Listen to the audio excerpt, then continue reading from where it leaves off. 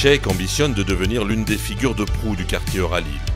Ce centre d'affaires incontournable de la métropole lilloise a vu le jour il y a 30 ans sous l'impulsion de Pierre Monroy. C'est une opération qui est née en 1990 avec une structure juridique dédiée, ad hoc, et qui avait comme première opération euh, le cœur du projet, les gares, c'est l'arrivée hein, de, la gare Lille-Europe, euh, euh, et le triptyque, la démolition de ce qui était avant la foire internationale, et l'installation du centre commercial, du Zénith, etc., c'est-à-dire le premier périmètre historique. Aujourd'hui, Euralille, c'est un quartier d'affaires, et c'est le deuxième quartier d'affaires après Paris, donc c'est pas rien.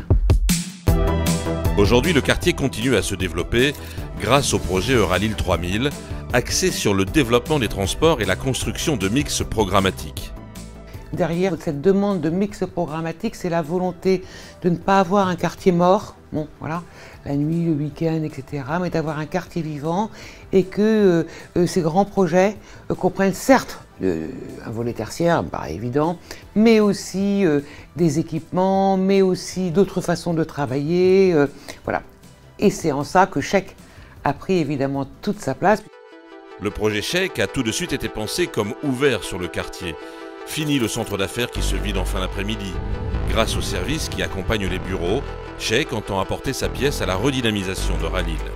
Dans ce quartier euh, tertiaire qu'est Euralille, euh, il y avait eu beaucoup jusqu'alors des réalisations purement tertiaires et il y avait nécessité d'offrir autre chose, quelque chose de plus serviciel. C'est pour ça que ce projet offre aussi un restaurant panoramique au dixième étage, euh, pour donner cette possibilité aux habitants du quartier, comme à une partie aussi des, personnes, du personnel de bureau, de pouvoir rester et de, et de profiter des lieux et de profiter de la ville, hein, puisqu'on offre la ville à regarder hein, avec un immeuble qui se dresse à quand même 56 mètres de haut.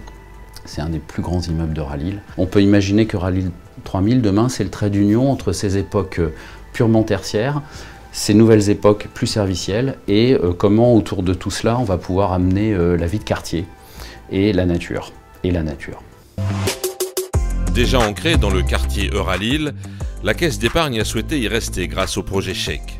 Le choix de Ralil répond à plusieurs objectifs. Le premier, c'est le regroupement des équipes de Lille, Lens et Douai, donc sur un site proche euh, des gares, de manière à faciliter l'accès pour les collègues qui n'habitent pas dans, la métropole lilloise. Euh, ça fait 12 ans que les équipes lilloises sont sur le site Euralil et ils ont pu apprécier l'ensemble des services. Un deuxième point, c'est qu'on a voulu garder aussi la proximité avec les centres de décision euh, économiques et institutionnels de la région.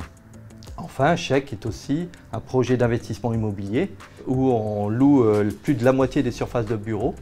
Et donc, en fait, Euralil est tout à fait un, quartier prime euh, pour, euh, pour développer notre activité. Demain, le quartier d'Euralil continuera à se développer avec de nouvelles voiries et une nouvelle offre de transport. En son cœur, Chèque entend bien participer à cette révolution urbaine.